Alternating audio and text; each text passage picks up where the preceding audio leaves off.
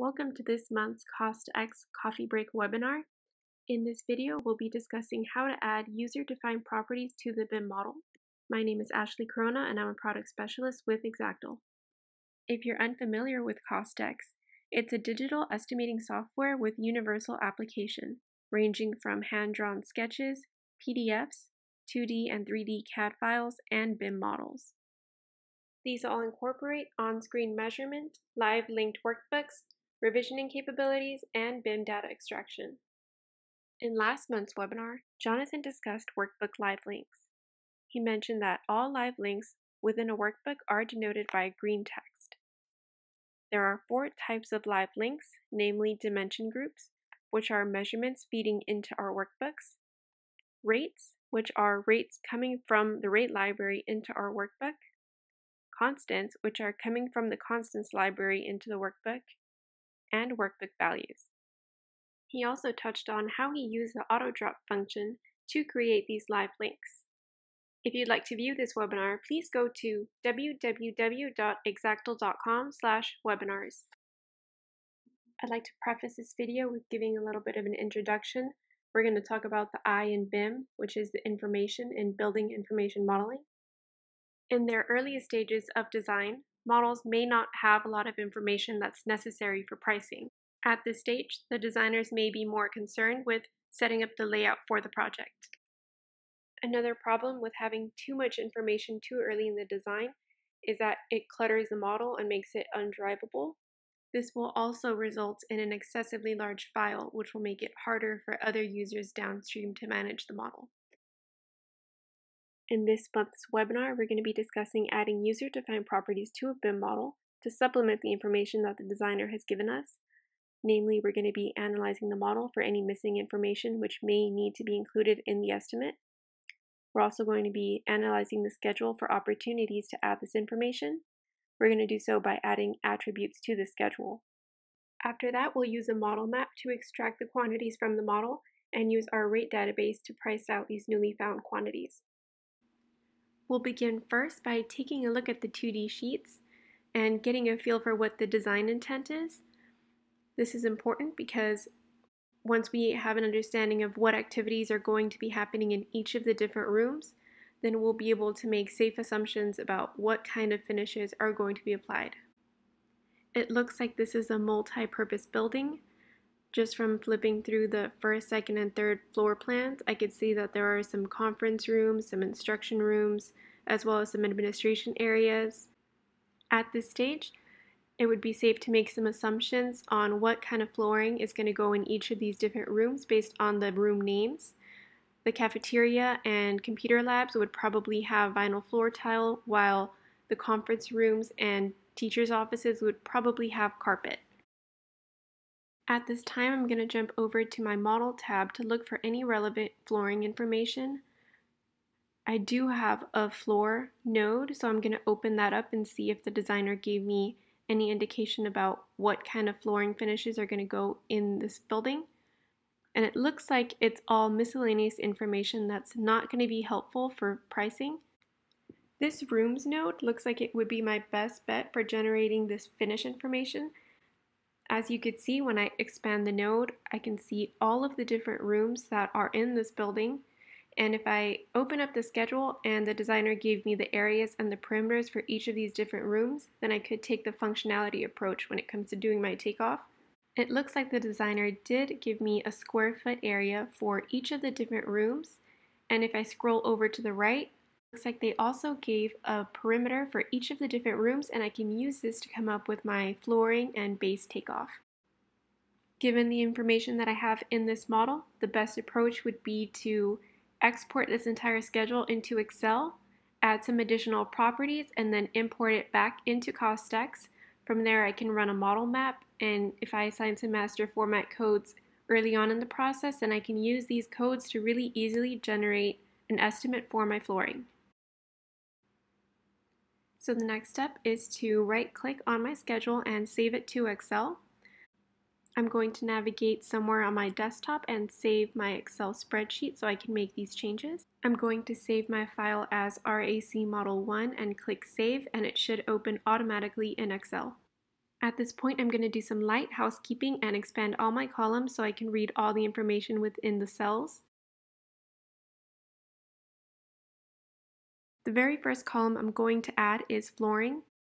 I'm also going to add a column for flooring master format codes so I can add in the associated codes with each of the different flooring types.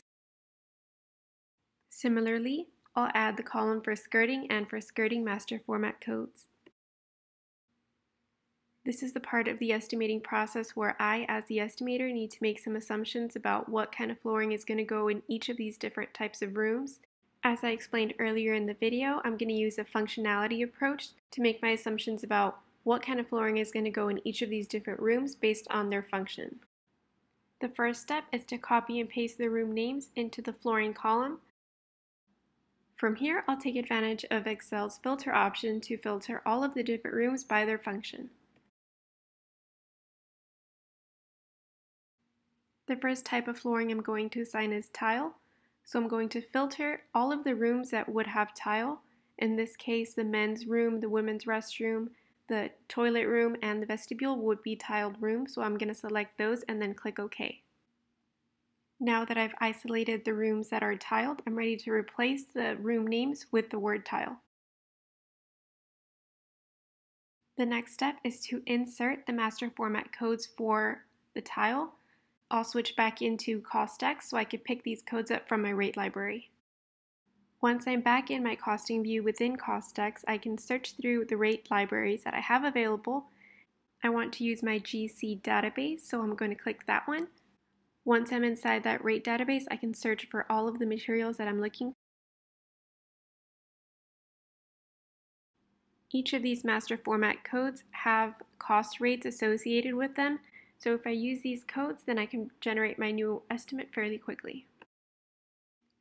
Now that I found one of the codes that I need, I'll generate a new workbook. This workbook is just going to be a placeholder, so I can drag and drop all of the unit rates that I need from my rate database for the different materials that are in my project. I'll follow these same steps for the ceramic wall tile, search for that description in my database, and then drag and drop the line item that I want. Now that I have the code for ceramic tile, I'll search for rubber base and drag and drop that code into my workbook as well.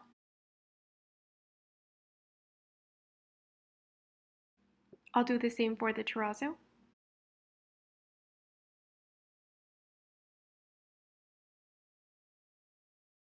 And the same for the vinyl flooring.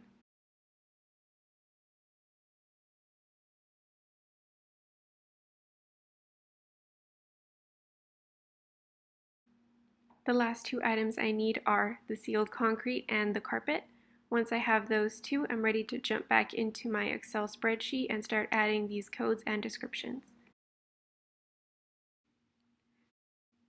The very first code I'm going to copy is for the tile, so I'll right click, copy, and then paste it into Excel. Restrooms typically don't have any rubber wall skirting in them. They typically have full height or half height ceramic wall tile instead. For this case, I'm going to drag and drop the master format code for ceramic wall tile and once I'm in the costing view, once I've generated my workbook, I can assign a height to this ceramic wall tile and that'll generate a wall area. I'll then add the description wall tile into the skirting column. In the same manner that I filled out the tile, I'm going to go through the entire schedule and populate all of the different fields with the appropriate flooring and master format codes. I'll also add in the master format codes for the rubber skirting and the description as well. I'm now going to use the filter function to isolate all the rooms that are carpeted so I can add in the master format codes for carpet and the description.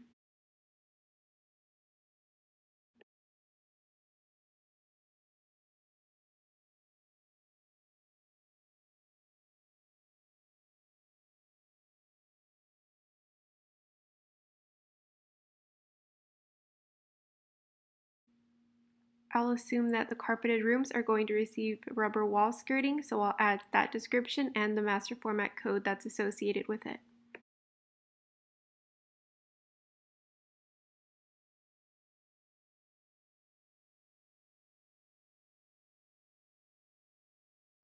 You'll notice when I remove the filter that the schedule is more populated as I'm adding all these additional attributes.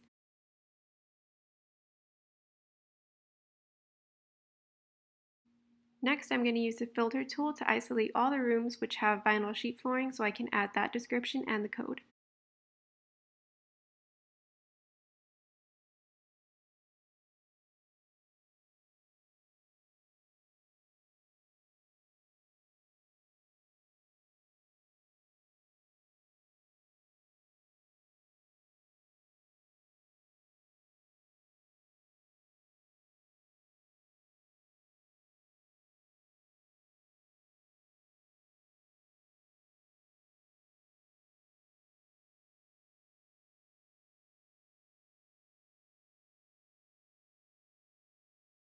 I'll do the same for the terrazzo.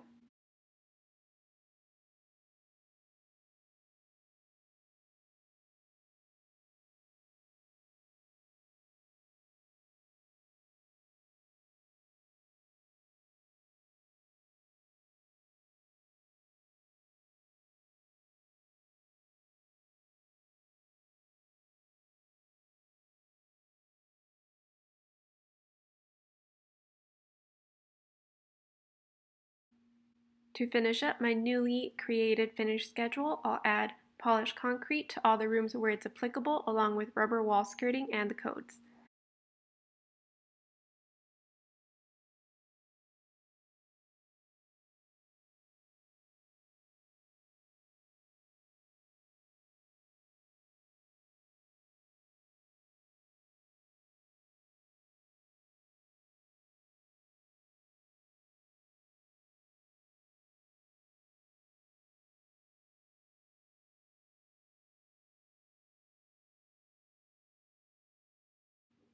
Now that I've completed adding all my flooring finishes to my rooms, I can close that filter and review my schedule and make sure that it lines up with my assumptions. If everything looks good, then I'll save and close. Now that I've made all my changes to my schedule, I'm ready to re-import it back into CostX. I'm going to do so by navigating to my Properties button in the Home tab. From there, I'll go to Property File Name, I'll open those ellipses and then navigate to where I have my Excel spreadsheet saved within my desktop. Once I have it open, I can click Update. If I open up my schedule, you'll notice that my newly added attributes are now included and highlighted in yellow. At this point, I'm ready to create my new model maps. I'll do so by clicking into Model Map, You'll notice I have two different tabs, Global and Project. Global is where all my model maps go. The Project tab is where I could add any project-specific model map, so I'll insert my new model maps in the Project tab. I'll name my model map Flooring Model Map and today's date and then click OK. Now that I have my model map open, I can start populating all the fields that apply. I'll start by calling this folder 096500 flooring. I'll then jump into my dimension group name, drag and drop the flooring master format codes in there. That way when I generate my workbook, I can use this field to come up with my rates. The measurement type and default display will be areas since they are floor areas. I'll then scroll down and drag and drop the areas attribute into the areas field and preview. That looks perfect, so I'm going to close out of that. I'll follow all of the same steps and generate a new model map for the rubber wall skirting.